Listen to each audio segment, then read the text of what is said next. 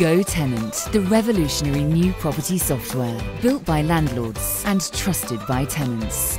Go Tenant is your one stop property management assistant that will take the pain away from your tenant recruitment process and the management of your properties. From advertising your property to maintenance reporting, electronic signatures to full property management software. Stop worrying about double bookings and the hassle of unnecessary admin because Go Tenants is here to enable you to seamlessly run your portfolio from anywhere in the world.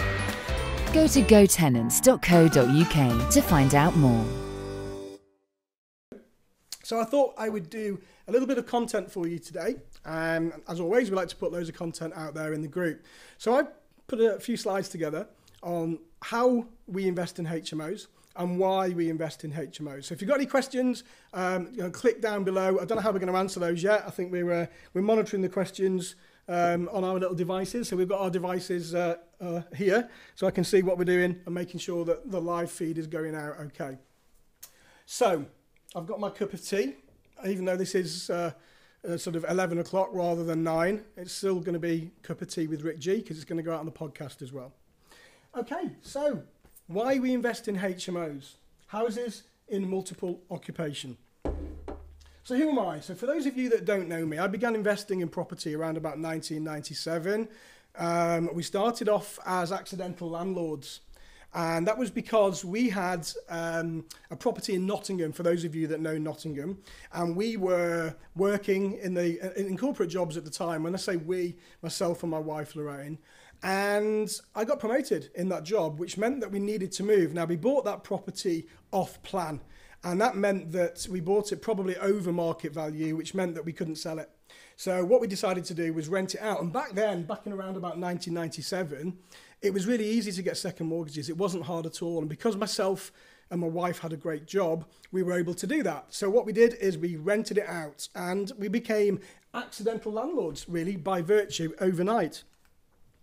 I then decided that I wanted a chain of pubs. Now, uh, we had a bucket list back then. Now they're called vision boards now, aren't they? And uh, and goals, etc. But when I was doing this at the beginning, they were called bucket lists. And I wanted to own a chain of pubs. For some reason, I thought it was a really sexy idea to be able to stand at the end of the bar and drink beer with the locals. And I thought it was just really, you know, a really great thing to do. So we went out and we bought our first pub. And then that developed into four, five, and I think we had about six pubs clubs and nightclubs towards the end of it. And then I became a police officer, so that was on my bucket list as well. And I think, you know, everything in life, we don't really know what we want to do, we just keep pushing forwards. And um, one of my main ambitions was to become a police officer. So I thought, well, you know, before it's too late, um, I decided to, or say I, we decided to sell our pub portfolio to a large company. They bought us out, we kept one, and we still own that one today and I became a police officer. And for the biggest part of my career, that's what I did. I was a uniformed response police officer, and I was the person that you'd expect to see if you dialed 999, um, and we'd turn up at your doorstep. So that's kind of what we did. Uh, and then I became director of New Era Property. So what happened over the course of the 13 years, uh, for many of you that have read my book, you'll know that I had a very life-changing moment, and I had a conversation with my son after coming home from work one day, and that was um, really quite heart wrenching and it was really difficult to deal with. So I went home after a, a really horrible night at work and I spoke to my son Ben. And Ben asked me why he couldn't play football like the rest of his friends. And it was real sort of um, a, a time stopping moment, if you like. And um, that made me change my career path. So I decided that, you know, we're only here once. Uh, we've got to make a real go of it, and time really does go very quickly. So I spoke to Lorraine, my wife, and we knew that property had always been good to us in the past. So we decided to go into property full time, and then became um, a HMO full time property investor, a mentor, and a coach. I then became a best selling published author and the founder of GoTenant Property Management Software. So a lot's happened since then. So that's just a little bit about me so you can understand what my credentials are for those of you that don't know me. So my life now, well, this is one of our latest deals. You'll see that. You may have seen this. I posted it on Facebook. This property um, starts from here and goes all the way to here, and we own all of it. So really, it's almost apart from one property at the end, it's the whole street, and it's just outside the city centre in Worcester. And we purchased this below market value. It was on for 1.3 million, and we purchased it for 1.1 million. Um, and that's kind of you know what the, the big deals that we're doing at the moment. So um, we bought that by sourcing direct to vendor. So with direct to vendor marketing campaigns. I've got two books. Uh, you may have read them: House Arrest and 45 Ways to Find Property. They're both available on Amazon. And of course, I am the founder of Go Tenant Property Management Software. Excuse me, folks. I've got a real bad cold at the moment. It's a real stinker. And I'm also published in YPN magazine every month and HMO magazine as well. So let's get straight into the content. Excuse me for coughing. this is a great thing about live feeds. It is live. I can't cut it out. Okay, folks. So this is it. So get a notepad and pen. And we've got about 35 minutes or so of education for you. So what is a HMO? What is a HMO? So a HMO is a housing classification. It's a house in multiple occupation.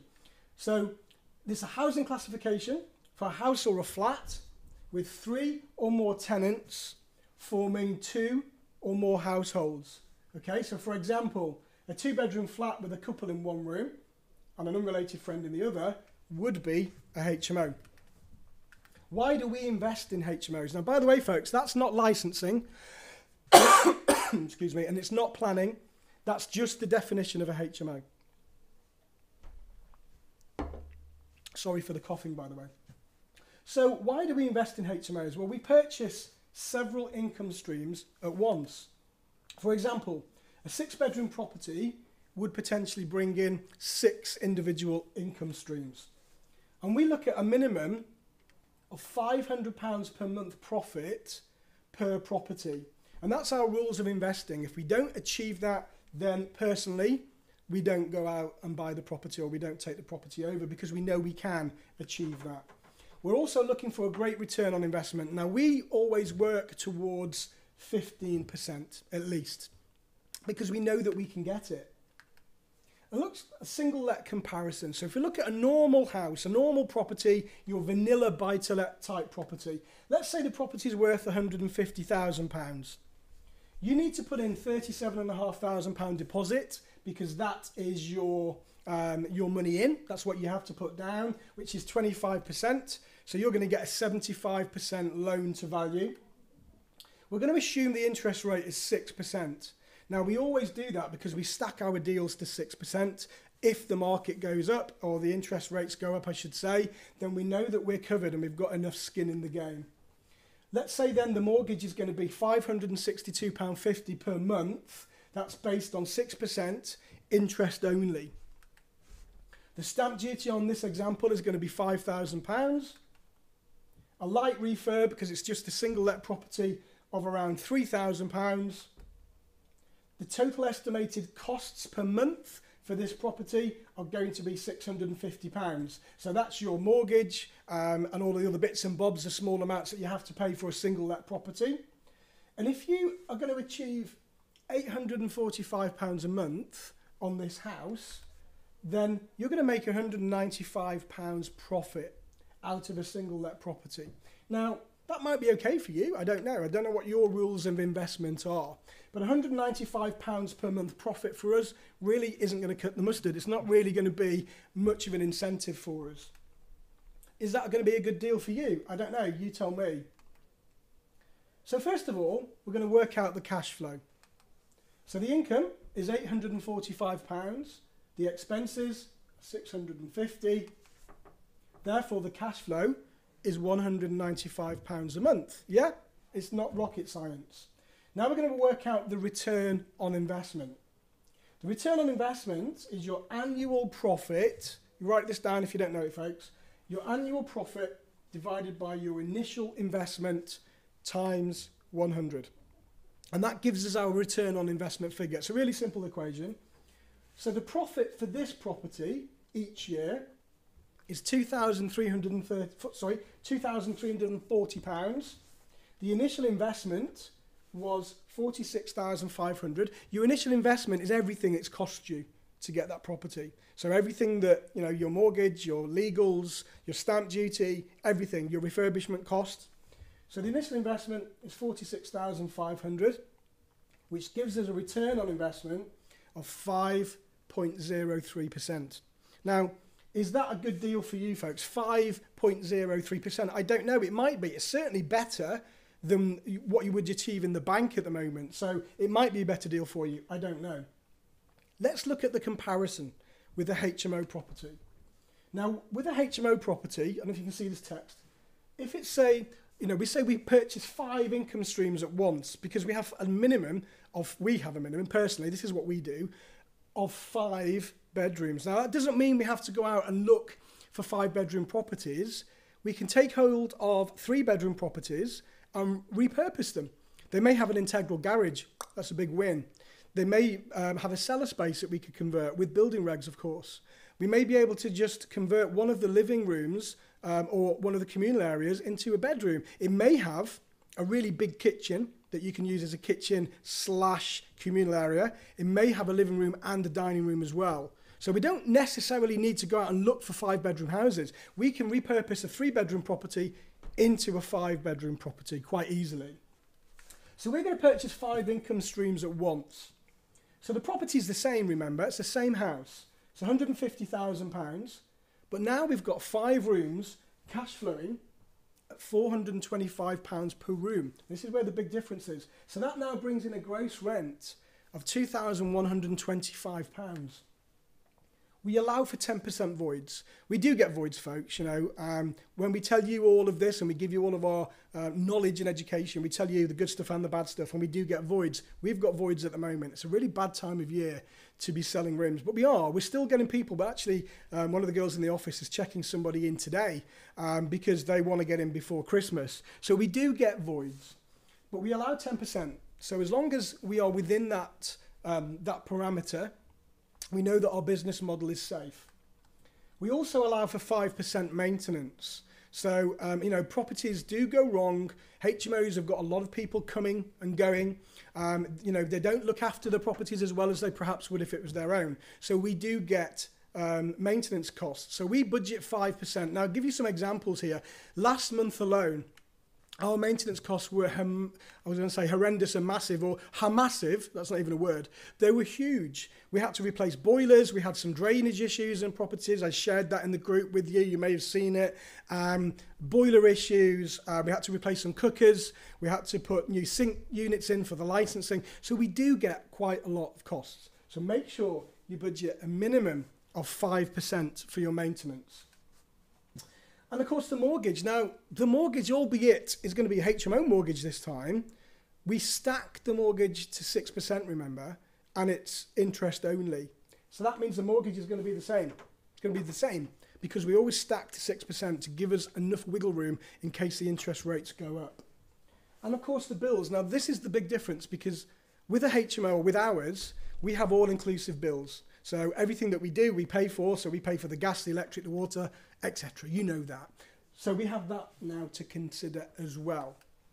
And of course, folks, we're going to cover this in a minute, council tax. Now, we pay the council tax because we only have professional tenants, we don't do students. If your properties are populated with students, ACE, because there will be ta uh, council tax exempt, or they should be.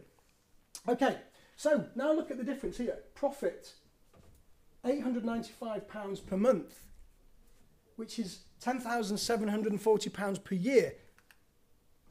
Now, we're going to allow for a refurb on this of 25 grand. Mm, you know, we could probably do it for 25 grand. It might be a little bit light, if I'm honest with you now. Um, you know, the breakdown of, you know, costs are going up, labour charges are going up. But if we're not going to go for any frills and we're not going to put en suites into every room, we might get away with about 25k, considering the property's already in good nick. We've got our stamp duty, it's the same price because it's the same house. And our legal costs, we say about a thousand. We can actually do it for a lot less than that. We can do it for about 350. Um, but we're going to budget a thousand pounds for today's example. The deposit's the same. Total investment now is shot up to £68,500. That's obviously quite considerably more. What's the return on investment? £10,740, which is your annual profit. Okay? Divided by 68,500 times 100 gives you 15.6% ROI. That's massive compared to the example I gave you before at 5%. What do you think, folks? Give me a like, hit the like button so I know that you're here. I know that some people are watching. Is that a better deal for you at 15% return on investment than 5% return on investment? Now, that's why we invest in HMO property because I know that buy to let property is going to be less work for you. It's going to be um, set and forget. But you're not going to change your life with buy to let property in the next 12 months. You're not, okay?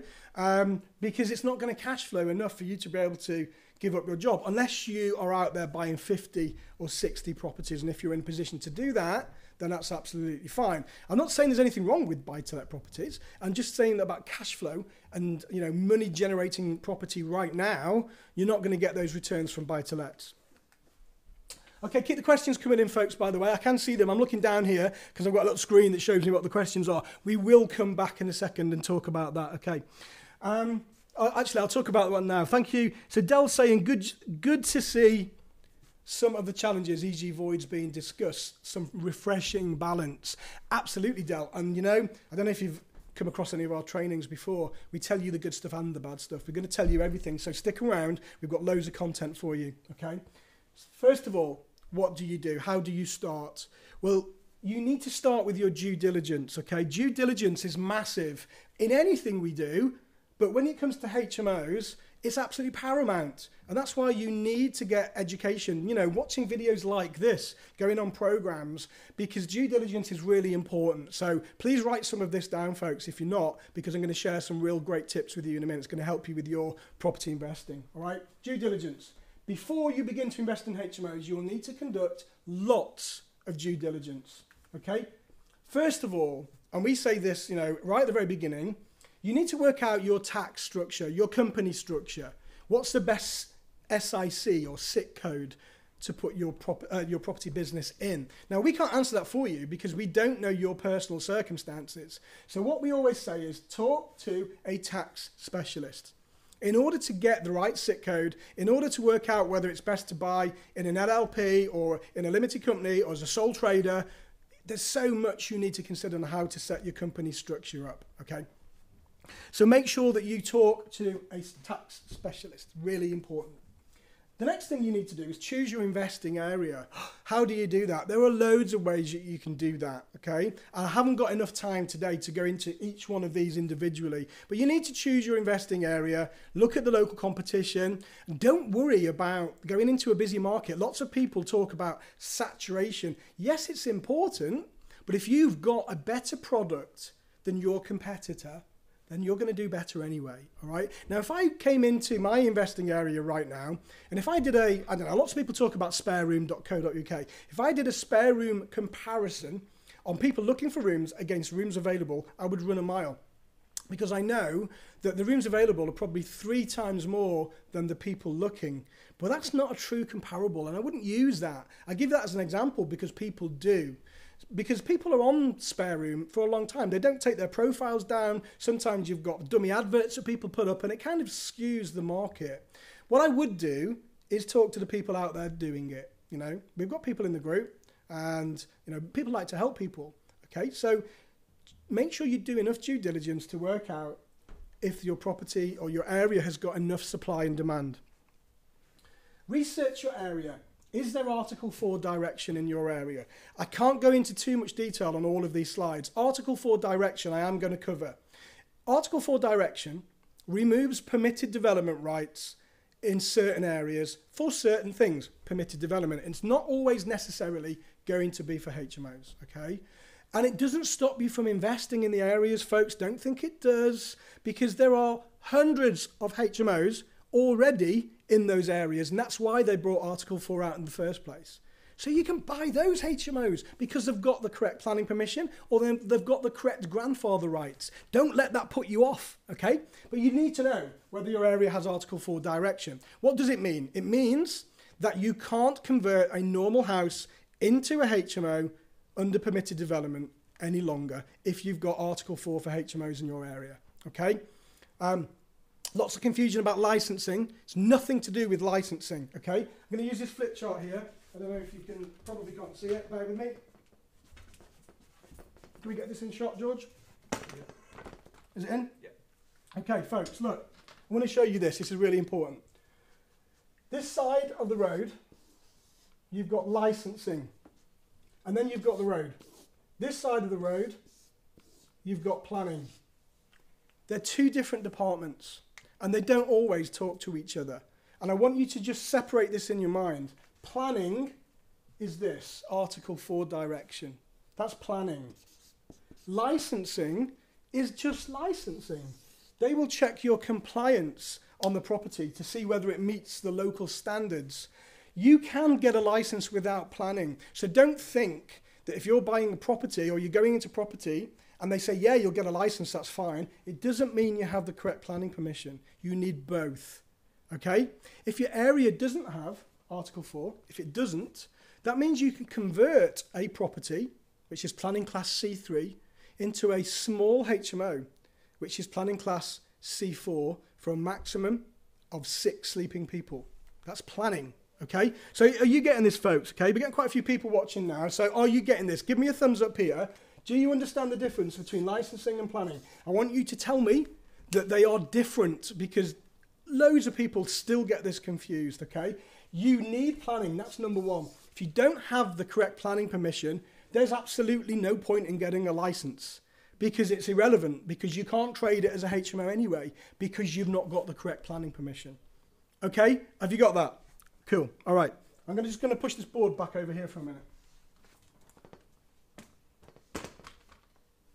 Okay, I've sort of beaten the drum a little bit about planning permission there. The next thing is licensing.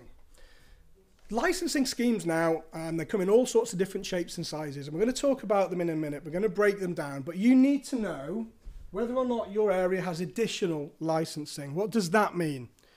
Even more confusion for you. The definition of a HMO, three or more people forming more than one household.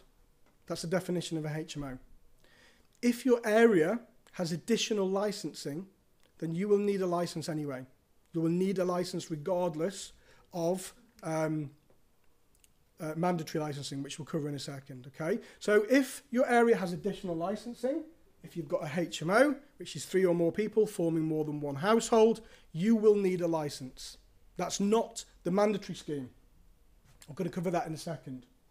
And we've covered supply and demand for the area we are going to look for properties that are close to the city centre as possible because people like the amenities around them. They like to be able to walk to work, they like to be able to walk to the train station, close to public transport links. A lot of people ask, is it essential for my HMO to have car parking? It may be if you're going for planning permission. If you're not going for planning permission, then no. Because, you know, most of our tenants, we've got 120 tenants. I would say that 85% of them don't drive.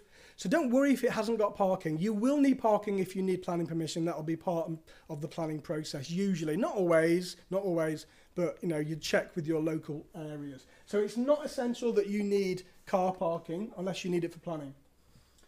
If you're looking for students, of course you need to make sure you're going to be close to a university. Students don't like to walk more than 30 yards.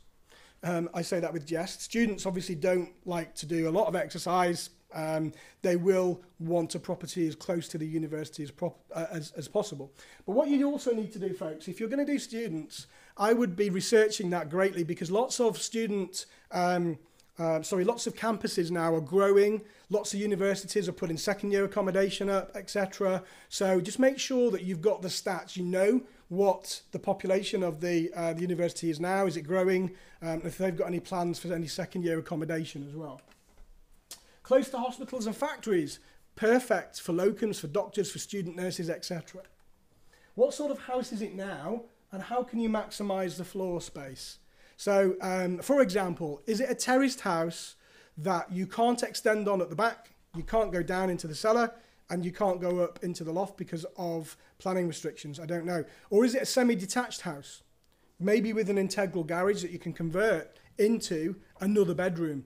Maybe you could put a, a dormer on the back of the house upstairs. Maybe you could convert the, um, the living room into a bedroom, etc. So look at the makeup of the house and how you can maximize on the floor space. We look for a maximum of five bedrooms. That's what we said earlier um, for our cash flow. And of course, a good return. You know, we need to make a good return on the property, otherwise, there is no point in doing it in the first place. Now, we buy for cash flow.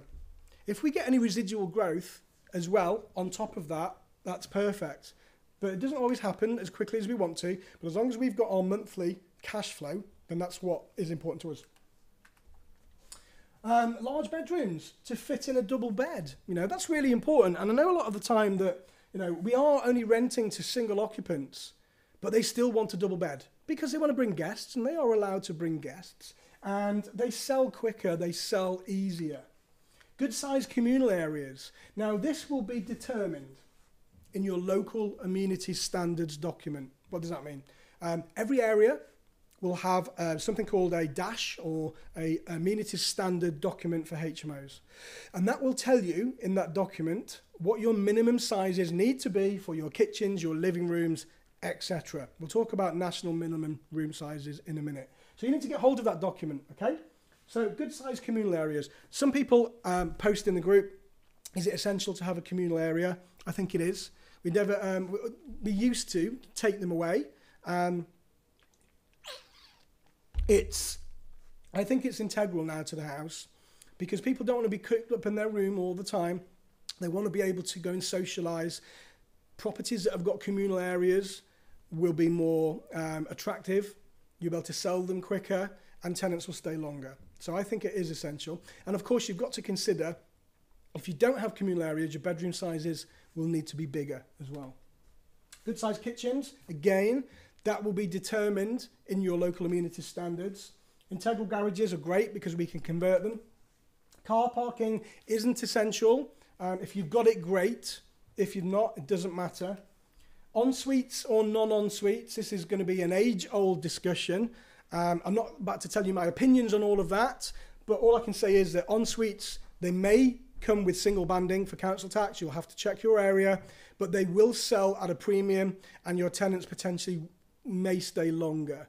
Uh, I always go back to the you know the, the fit and proper person tests. If you were going to stay in a hotel, would you choose an ensuite over a communal bathroom? I think it's an easy answer. Um, so that's what we think about en suites. Check the demand, we've covered that. Speak to the agents in the area to see what they think about the demand. Speak to other investors attend local property meetings, and of course, you're in my discussion group anyway, so you know, keep that flowing, keep the, the posts moving, ask for advice in the discussion group. Okay, Article 4 planning. I'm going to cover this again because you need to get it, all right?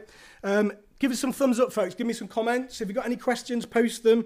We do need to keep this interactive, okay? Got quite a few people here listening and watching. Thanks for the thumbs up. I can see them coming in now. Um, post your comments there, folks, and I'm here live. I will answer your question for you. Article 4 planning, I've already done this, I'm going to do it again. Write this down. Article 4 planning is not licensing. What's it not?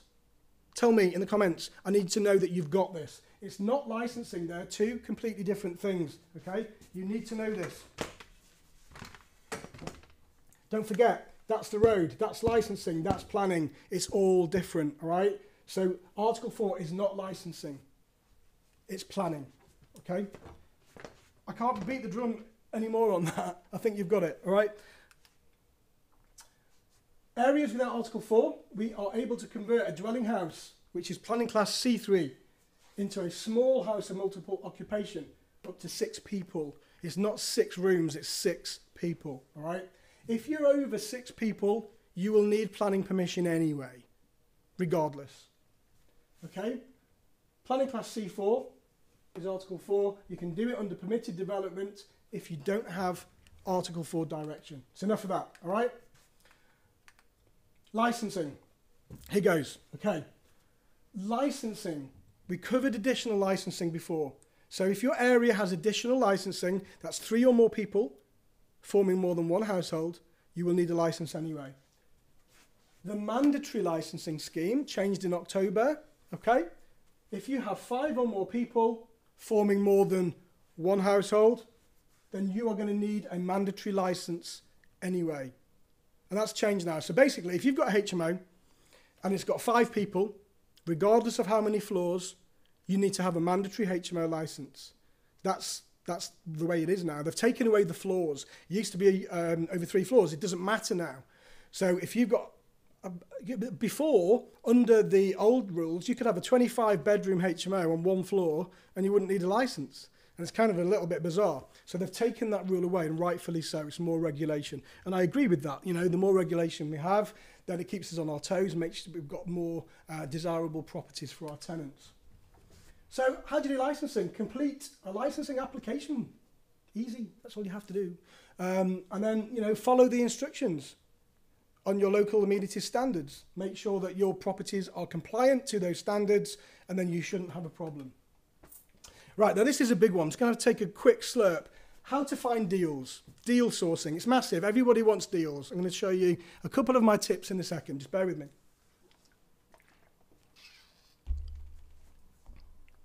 Okay, I'm not getting many comments, folks. Come on, keep this interactive. I can see how many people are watching. Um, so give me some comments, give me some feedback, ask me any questions. How do we find deals? Well, personally, this is what we do, folks. Now, you, you know, people might be watching this saying, no, that's rubbish, you know, we do it differently. That's, kind, that's okay. You can do it differently. This is what we do. We look for motivated sellers. We look for tired landlords that are potentially about to retire or want to dispose of their properties. Landlords that might be in negative equity. They need to sell quickly for whatever reason. I don't know what the reason might be, but they need to sell quickly. They might need to relocate lots of reasons that people become motivated. You know, very much, sometimes people are motivated because they've um, been renting with an agent and the agent has failed to let the property.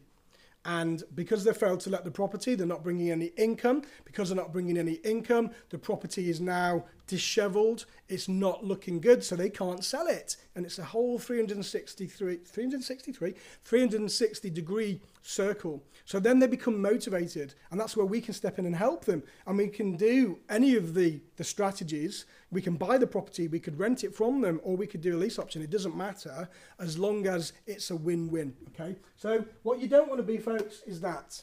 You don't want to be a motivated buyer. Because if you become a motivated buyer, you're going to lose money on the property. It's not, it's not going to make you the return on investment that you're looking for. So how do you find motivated landlords? Well, you can write to them directly. You can contact estate agents. We get some great deals from estate agents, folks. You know, they're all there, but they don't, they don't necessarily drop on your mat every day. So you need to build up relations with the estate agents. Letting agents the same. You could put adverts in the newspaper or you could do a leaflet drop. Rightmove and Zoopla, there are deals on there all day long. Gumtree, sometimes people post deals on Facebook. You can use a deal sourcer. Um, I don't personally use deal sources. What I can say to you is that there are some great deal sources out there. Like everything, you know, um, there are some not so great deal sources out there. But make sure you do your due diligence and make sure that it's a deal. What does that mean? Does it work for you? You know, because what works for me might be completely different than what works for you. So I might look at a deal that's 15%, you might be looking for something that's 10% or 20%. So you've got to make sure that it is really a deal. Is it exclusive to the sourcer, or can you just literally go on Rightmove and Zoopla and buy that property anyway without having to pay a fee? Lots of things for you to consider, okay? But it does work. And of course, networking meetings. Get yourself out there, get networking, start telling people what it is that you're looking for and what it is you're looking to achieve, and start to become known in your local area for what you do. It's really powerful. Uh, word of mouth. Okay, so structuring the deal next. So we can do a straightforward purchase. We could do a joint venture purchase. We could do what we call a purchase lease option. Or we could do a rent to rent. Or we could do with an exchange with a delayed completion. Lots of different ways that you can obtain those properties. We've got several programs on each one of these folks. You know, I can't go into the ins and outs today on each one of these, but those are the ways that we look to obtain property. And I always say that if it's a great deal and if you're in a position to, just buy it. Don't overcomplicate it. At the end of the day, we want to own these properties to put into our portfolio anyway. So if it's a great deal, just literally buy it. Negotiating. Next, we're moving really quickly here. Everybody okay online? Give me some thumbs up, folks. Let me know that you're still here. Um, otherwise, I'm talking into this little black camera in front of me. Um, I'm feeling a little bit lonely, a little bit odd, to be honest with you. So, so let me know you're here, please. Okay, negotiating deals. So first of all, we're going to speak with the vendor. You can't do anything unless you talk to the other person. You need to have a face-to-face -face meeting, and you need to understand their expectations. What is it they're looking for? Now, very often, if you're dealing directly with a vendor and you ask them the question, how much are you looking to achieve? They will probably come back and say, well, that's for you to make me an offer. And that's really difficult starting point. But what we need to try and establish is what is their expectations? What is their motivation? Why are they looking to do this? Because without knowing what the expectations are, it's very difficult to start getting that common line, that common agreement. So we need to really try and establish that. So we're going to have a face-to-face meeting. We're going to ask them, what is it, Mr. Vendor, that you're looking to achieve? So I can understand whether or not we can help you and we can get to a win-win situation. You need to understand their motivation. It could be that they need to move quickly, so they might take a discount on the property. It could be that they want to keep the property because they can't sell it, because there might still be in negative equity, who knows? Or maybe they've got um, capital gains to pay over a period of time. So they can't sell it. So then we are starting to understand what it is they're looking to achieve. So if they're not looking to sell, they don't want to manage it themselves, how can we help them? Okay, so are you looking to sell in the future? So maybe the capital gain issue could be spread. So if you've got five houses, maybe we could set up an exchange with a delay completion or maybe a purchase lease option over that period of time to take over one of those properties per year. So we can start to negotiate with them and find out what their expectations are. It's really important. And it's like anything in life, you know, with business, par business partnerships, joint venture deals. If you don't know the other person's expectations, then it's going to be very difficult for you to build that relationship and it may break down in the future. What we're looking to do is help them and help them take away their pain. So whatever their pain is, maybe it's that the property is empty, they can't afford to pay their next mortgage payment because it's been empty for so long. Okay, well, when is your next mortgage payment? It's on the 28th. Well, how about we pay that for you? Okay, so we can come in, we can take over the property, can get the legals done quite quickly, and provided that all the ducks are in a row and everything's cool and you've got the right mortgage product, then maybe we could take over the property quickly and pay your next mortgage payment for you. So, you know, those kind of things are really big motivators. The most important thing in everything we do, you've got to be completely transparent and completely honest. We don't lie to anybody. We tell them as it is, you know. And if we're doing a lease option, we say, look, you know, it's the option to purchase, not the obligation. And we tell them all of that. We make sure that we are completely open and honest and totally transparent. And it has to be ethical. Otherwise, we just don't do it. It's got to be enough skin in the game for everybody. There's got to be enough reward for them and for us as well. It's got to be a win-win. And the other thing is that when we start negotiating on deals, we've got to make sure that we keep the vendor up to date all of the time. They need to know where we are. Maybe, you know, if a week goes by and they haven't heard from us, then potentially they think the deal's off. So we've got to make sure we keep that content, sorry, contact with the vendors all the time. All right. Um, Hi, Graham. Hi, Graham. Thank you. Ace content. Good. Glad you're enjoying it. Um, you know, loads more to come. Don't go away. And we offer them speed and certainty. So, like I just said, you know, how about I give you your next mortgage payment and I can do it by the end of the month? Um, and we can get cracking now. You know, I can get to my legal team tomorrow. I could probably have the contracts drawn up by the end of the week. Yeah. Because we can do that. You know, we've got the team around us. So what happens next? I've got a whole walkthrough for you from start to finish here. So you've got your deal signed now. So we've negotiated. You've signed your deal. When do you advertise for tenants? Right now. Don't be put off because the property needs a refurbishment. Advertise for tenants as soon as you've signed for the deal. Um, because tenants will buy, well, off plan almost. When we say off plan, you know, if you um, put your advert on SpareRoom and you can put an example photograph of maybe one of your other houses or maybe one of your friends' houses. And as long as you say on there, the advert is an example, the photograph is just an example because this property is under refurbishment. But we are taking uh, reservations now for the rooms. If you would like to get a brand new high spec house in an awesome area with the following uh, mod cons, then maybe you should reserve this room now. And I can tell you that tenants will do that. So advertise for tenants straight away. Don't worry, it doesn't have to be ready, it doesn't have to be finished. And I can guarantee that you will sell the rooms off plan because tenants want to be the first ones in there. Um, and they want to be the first ones in a brand new house. So as soon as you've signed the deal, advertise for your tenants, folks. Okay, that's really important. Points to note. So you have the refurbish progress. You've begun to search for tenants. Before you start collating information on new tenants, you need to register with the ICO for data protection. Okay, really important, dead easy to do. So you need to register with the Information Commissioner's Office. You can do it online. There's like a little questionnaire that they ask you now. It's changed a little bit. And it's not expensive. I think it's about £45 or something similar for the very basic um, package, which is all you will need. So that's really important. You've got to be GDPR compliant. Okay? www.ico.gov.uk.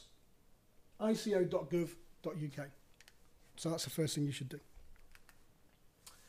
So now I'm going to talk about tenants. Oh, okay, so what type of demographic of tenant am I looking for? Well, you probably already sorted this out in your head when you did the due diligence um, of your area, okay? But I'm going to break down the tenant, um, tenant demographics for you. First of all, you could be looking for students. I'm going to give you the good and the bad here. Students are great because they generally, you set and forget. They're there for 10 months out of the year usually, and that means that you can just literally, you know, put them in and not worry about any churn. After 10 months, you've got two months then that you can go back into the property and you can decorate ready for the next cohort of students. Students normally come with a guarantor. Usually, I would expect you to take a guarantor. And that's normally bank of mum or dad. So if they don't pay their rent, all it takes is a very quick phone call and the money's in the bank maybe a couple of hours later. Students can um, be, um, what's the word I'm looking for?